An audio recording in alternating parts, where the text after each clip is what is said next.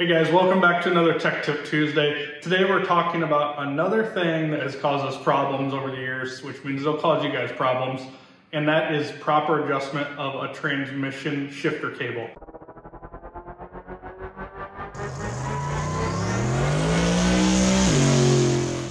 Now this is something people take for granted or they just don't pay attention to, and it's probably one of the highest cause of failed transmissions. This particular instance we had bought a or found a cheap B&M ratchet shifter. Needless to say, they don't make them like they used to. And when we first adjusted it, it was fine. And then what we found is intermittently, the shifter would not go in and out of gears cleanly. So it was basically keeping the shifter or the transmission between gears, which caused it to burn up. We went through the transmission, everything was perfect. Uh, we only found it when we went to go put it back together. Uh, we were kind of confused why it burned up, but we're like, we'll monitor pressure, stuff like that. It just wouldn't set. It was different every single time. And, you know, that happens with these Chinese parts these days. So uh, it's just something to really keep an eye on. But more importantly, no matter what shifter you use, you definitely want to verify everything works, and I'll show you the proper way to do it.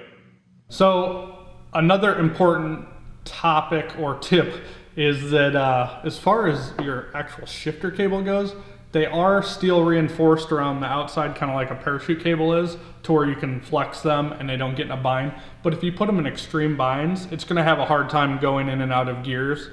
We actually checked that on that shifter and that wasn't the problem at all. Um, it was just a bad design. But I have seen in the past issues with shifters where you got things coming at such extreme angles that the shifter cable just can't move properly. So that's definitely something. We actually uh, are setting this one kind of loose and then we're gonna reroute it and check it again just to make sure because you know we just don't trust it till it's done. So we wanna make sure that we have it right and then we'll move forward.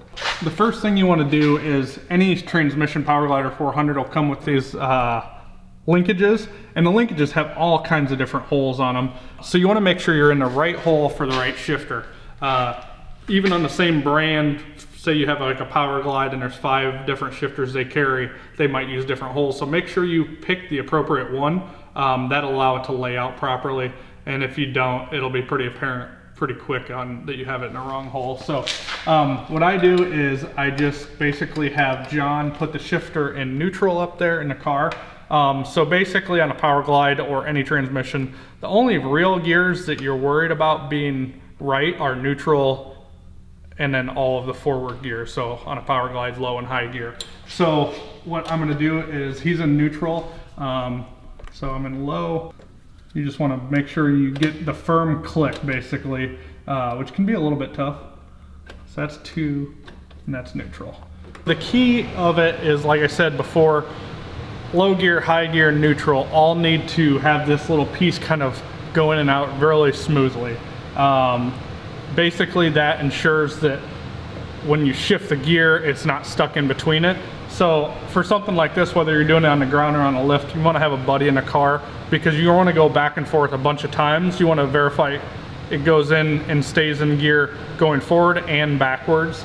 Um, so it's just really important and it's just a lot easier to have two people. So I'll go ahead and show you. Um, if you note right now, I can just push this in and out of the uh, bracket and it just slides in and out real easily. So go ahead, John.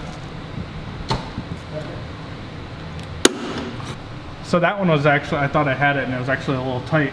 So basically what you do is, um, sometimes it this angle right here, if you have the bracket bent can cause issues too, but you can see it goes in and out of it.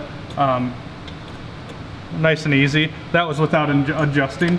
If you need to adjust it, pull it out and rotate this clockwise or counterclockwise intuitively uh, to make it shorter or longer, and you'll be able to see where it kind of falls in relation to the hole when you pull it out. Like if it's if it's wedged, it'll either be forward of the hole or back of the hole, so you obviously just need to change the depth of that. If you need to make a wholesale change, uh, you can actually change the, uh, there's a basically two lock nuts right here that set the depth of the overall cable. Um, but that would be basically the first thing you do and then you make small adjustments with this because it's a smaller thread pattern. Um, so now go to neutral, John. Well, obviously we didn't have a pin holding that in there, um, but it goes in and out of neutral real smoothly. Um, so basically, like I said, those are the three gears you want to make sure you have perfect.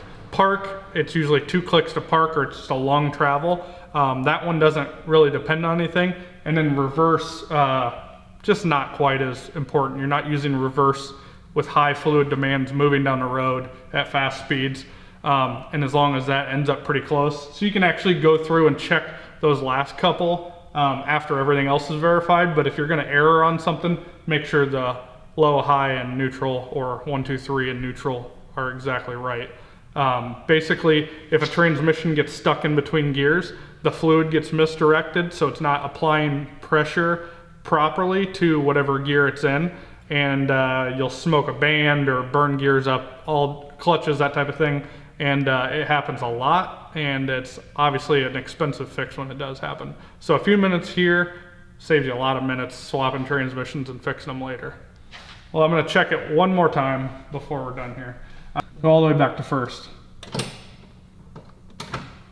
Okay, so just see it just kind of falls in and out of that right there. That is uh, exactly what we want to see. You don't want to have to pry it in or out. Um, and then what you can do is actually, just to verify, is just make sure your um, linkage is correct and seated. Sometimes it'll pull in and out, but it'll actually be between a gear, so you want to firmly make sure it's there before you say, oh, that's good. So go to second. So second gear goes in and out smoothly, coming from first, and then go to neutral. So neutral goes in and out smoothly as well. So I would call this one done. Um, like I said before, don't ever trust the hardware that you're installing.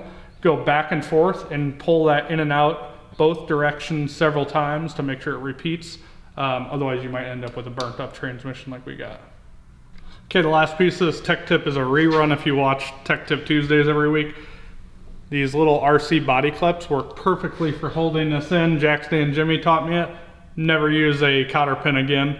So we'll slide one of those in there. That's easy field service work for if and when we break transmission on Rocky Mountain Race Week. We don't have to look for cotter pins. So slide that in.